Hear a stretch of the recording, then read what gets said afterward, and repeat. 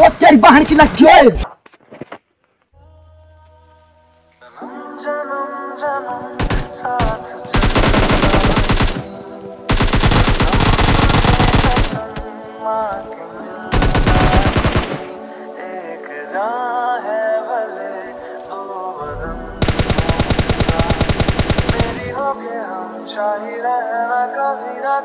Enemies ahead!